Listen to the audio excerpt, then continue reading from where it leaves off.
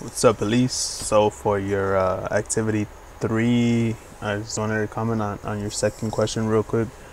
Uh, what caught my attention was that you uh, were basically talking about um, how, how basically the truck is gonna, the little pickup truck is gonna go in a backwards direction when it gets hit, and I didn't think of that. I guess I only thought of like the truck um, smashing the uh, the little pickup uh, but that's that's a good point too. It could move back because of the mass of the other truck, but they both kind of have the same energy, so could be the same. They could just